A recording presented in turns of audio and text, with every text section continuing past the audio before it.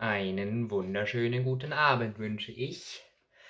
Ähm, heute ging es in der Früh, mussten wir das erste oder musste ich das erste Mal mein Zelt ein bisschen nass einpacken, weil wir haben äh, neben so einem Maisfeld äh, gezeltet und einem recht hohen Gras und es hat ganz schön getaut über die Nacht und es lag auch im Schatten, deswegen ist am Morgen nicht richtig getrocknet. Ähm, ja, muss, musste ich eben das erste Mal nass einpacken aber alles halb so wild. Ähm, ja, dann ging es noch mit den beiden, äh, Thiebo und Martin, ging es noch für ungefähr 30 Kilometer, sind wir noch gemeinsam gefahren und dann haben wir noch eine Pause gemacht und dann uns eben getrennt. Ähm, und ja, das war schon, äh, war ja wirklich echt eine super, super schöne Zeit mit den beiden und es hat mir irgendwie doch ganz schön zugesetzt. Ähm, jetzt, die, dass, wir, dass wir uns dann wieder getrennt haben, ähm, hat sich echt total komisch angefühlt, dass ich dann auf einmal wieder alleine weitergefahren bin, weil war auch die letzten Tage so, ich habe mich überhaupt, überhaupt nicht um die Route kümmern müssen. Das hat alles der Martin immer geregelt. Und ja, mit Essen war alles äh, irgendwie einfacher oder haben wir halt immer gemeinsam gemacht und so. Und das war, ja, war schon ein komisches, mulmiges Gefühl, dann auf einmal wieder alleine weiterzufahren und war ich doch recht traurig. Aber ja, habe mich dann jetzt auch schon, glaube ich, wieder dran gewöhnt.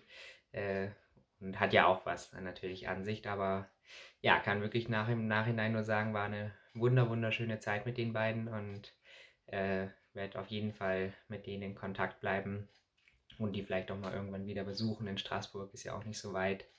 Ähm, aber ja, war auf jeden Fall eine schöne Sache. Und dann ging es heute hoch und runter durch Frankreich äh, in einer brütenden Hitze. Ähm, aber bin dann doch noch recht weit auch gekommen. Ähm, bin jetzt hier an einem Ort kurz vor Bratins, heißt der. Ähm, und da habe ich jetzt bei, bin ich dann an so einem Haus vorbeigefahren, wo ein recht großer Garten mit Swimmingpool und insgesamt ein recht schönes Haus war. Und da habe ich dann geklingelt und äh, habe ihn gefragt, also die Frau spricht so ein bisschen Englisch, die mir aufgemacht hat und habe ihn gefragt, ob ich bei denen im Garten mein Zelt aufschlagen dürfte.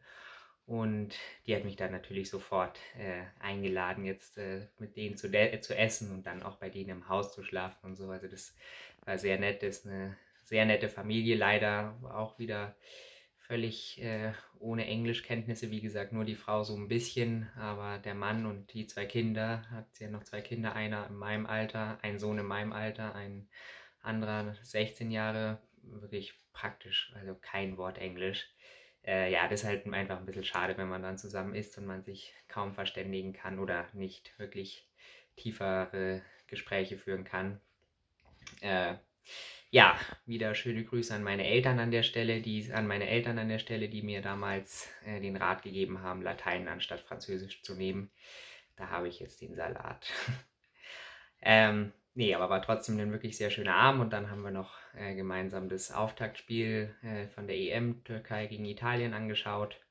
Und ja, also war doch und durch wieder ein sehr schöner Tag und morgen geht es dann weiter. Ich denke an die Küste. Jetzt bin ich noch knapp 300 Kilometer vor Bilbao. Ähm, das heißt, ungefähr in drei Tagen werde ich dann in Bilbao sein und eben jetzt erst noch an die Küste Frankreichs fahren und dort eben an der Küste dann entlang zu fahren, um mir die ganzen oder möglichst die meisten Berge zu sparen.